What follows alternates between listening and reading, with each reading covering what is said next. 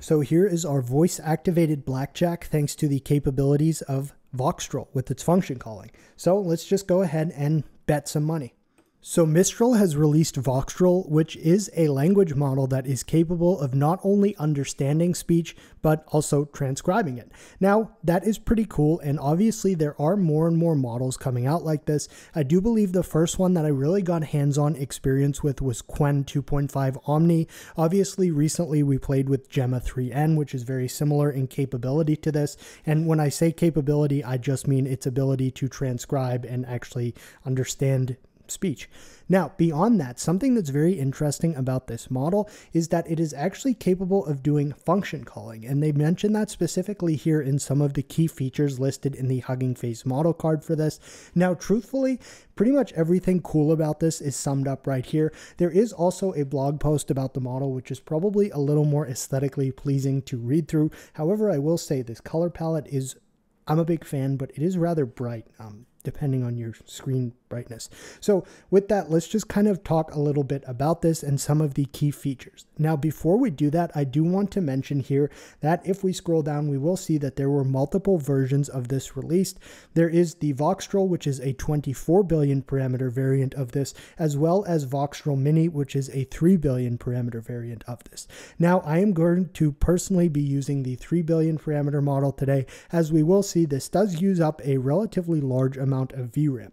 Now, first and foremost, something that I think is really cool about this beyond the actual ability to perform function calling is the 32K context length. So as they say right here, that allows this to handle up to 30 minutes for transcription or 40 minutes for understanding. That is a significantly lengthy amount of audio. And while I'm not sure how specifically this would work, you could pipe in an episode of like a TV show, at least the audio file, and it would hypothetically be able to palatably transcribe all of the speech there. Now, obviously, if someone's talking over another person, I'm not quite sure how it would handle that, but you know, it's just hypothetically very cool and very capable. In addition to that, we have something that will be of note for a lot of folks. It is natively multilingual. I am not going to really be doing anything with that today as I don't see Farsi here and aside from English, which is how we will be playing with it, but I do definitely want to mention this as I know a lot of folks are interested in models that are not just English only. We have gone over the function calling straight from voice, which is awesome. And beyond that, and the benchmarks, which I never really pay too much mind to, they do have some kind of like further improvements that they're planning to do down here if we take a look, which some of them are quite interesting to me, specifically non speech audio recognition. Um, I do have a few um, specific use cases that I would be quite interested in testing that with. Uh, that's probably all I'll say about that. Speaker segmentation, audio markups such as age and emotion, world, word level timestamps, which would be very interesting, and more. So, with that, that is basically the crash course on this Voxtral Mini 3B right here. Beyond that, we're just going to actually take a look at running this locally. Now, something that will likely be considered a downside to some is that they do suggest using this with VLLM. Obviously, we like VLLM and it is fast, but truthfully, the reason I'm getting this video out today and not yesterday or a little earlier is dealing with getting VLLM working with the Blackwell architecture. So basically, just getting that set up and working properly with the NVIDIA 5000 series was a bit taxing on one's patience. So with that, the device that we're going to be using to run this today is a 5090 laptop GPU. and then I do have it all set up. So basically all I'm going to do is just copy paste this VLLM serve command here into the virtual environment that I had created to finally get this working. And this will go ahead and actually load up the model. It is already downloaded on my machine and they say that it takes up like it needs nine gigabytes of VRAM or something like that here from the Hugging Face model card. However, I noticed that using it with VLLM on my machine, it's using about 20. So um, VLLM, correct me if I'm wrong, but from my remembrance of using VLLM, it will automatically just allocate like the maximum amount of RAM that it would use for the context length, which I think is just still staying at 32,000. So that is partially to blame for the large amount of GPU utilization we're going to see right here. And basically, yeah, so we can see that kind of showing up right here a bit. And again, correct me if I'm wrong on that, but I'm fairly certain that is the case. Beyond that, we can see that it's loaded now. It is using around 20 gigs of VRAM, which is rather large.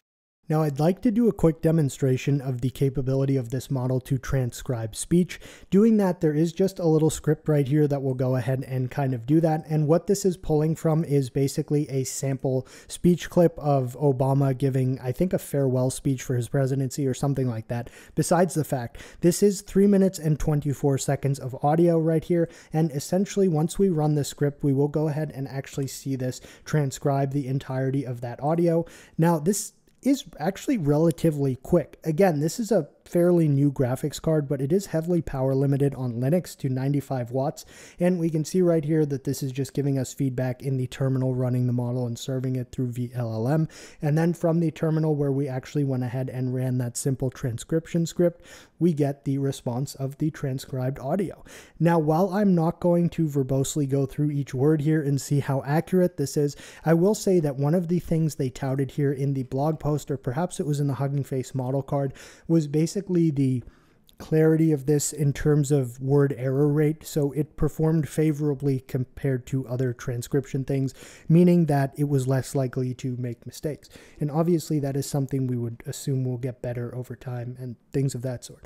Now, because it would be kind of boring to just show transcriptions of different length audio files in the video, I have gone ahead and tried to tap into some creativity and just made a couple of really simple games that will showcase not only its ability to understand speech, but to actually do function calling, which is really quite interesting because that opens up a lot of possibilities for actually using a voice activated model to perform almost physical tasks like controlling a smart home or something of the sort.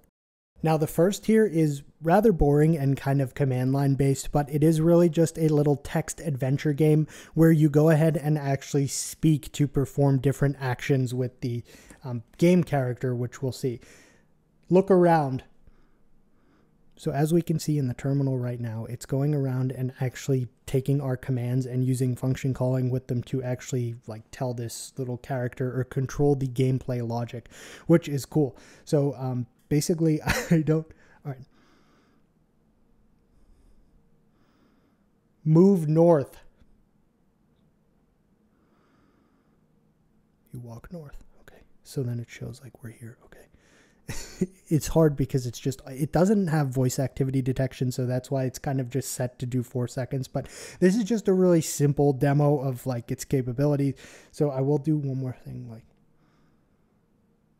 move west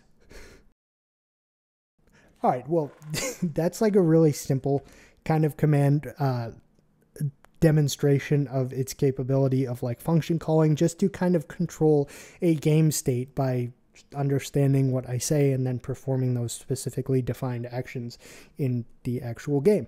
Now, because that is um, perhaps a bit simple, I went ahead and made something a little cooler, at least for me personally, and that is what we see right here. So as I do python app.py, this is actually going to spin up a little web interface here where we can actually play some blackjack, but using our voice.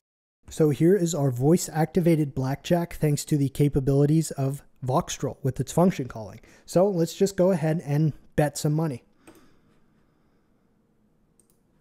Bet 100 going all in. All right. I have 15 and the dealer has 10. Hit.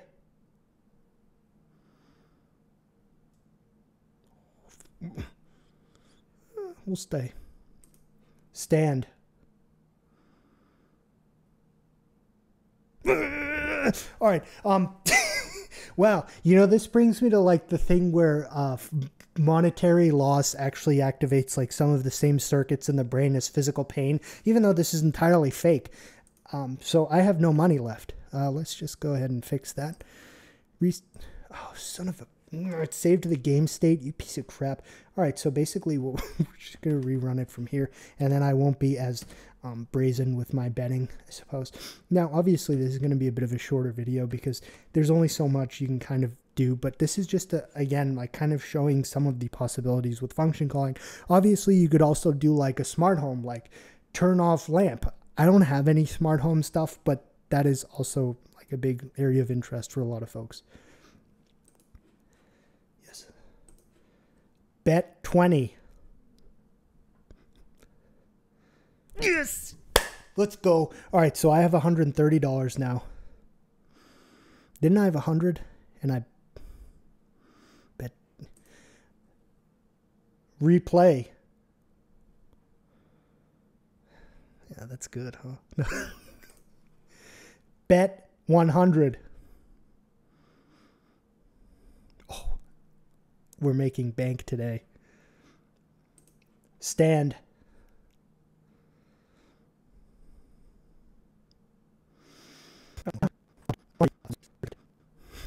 Stupid dealer. All right.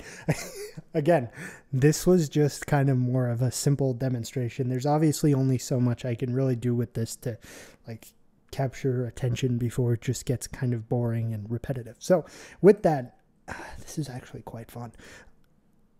I just wanted to demonstrate this model right here. Again, it is really cool. I will say I think one of the current downsides of this, at least for the hobbyist, is depending on your hardware, getting VLLM set up can be kind of cumbersome. If you have a 3000 series, it will probably be easier, or a 4000 series. I think on the Blackwell, there's still a bit of tweak. Blackwell is just like the 5000 series. It's still perhaps a little more difficult to get everything set up and going, but it is hypothetically possible, as we saw right here. So with that, this is Voxtral Mini 3B, and remember, there is also a 24 billion parameter variant of this model, which would probably be very impressive. Unfortunately, I do not have the computative capability to run such a thing. So with that, that is going to wrap up a quick little video on Voxtral Mini 3B2507. If anyone has any questions, please feel free to leave them in the comments. If you have any negative comments, please feel free to not leave them. And thanks for watching.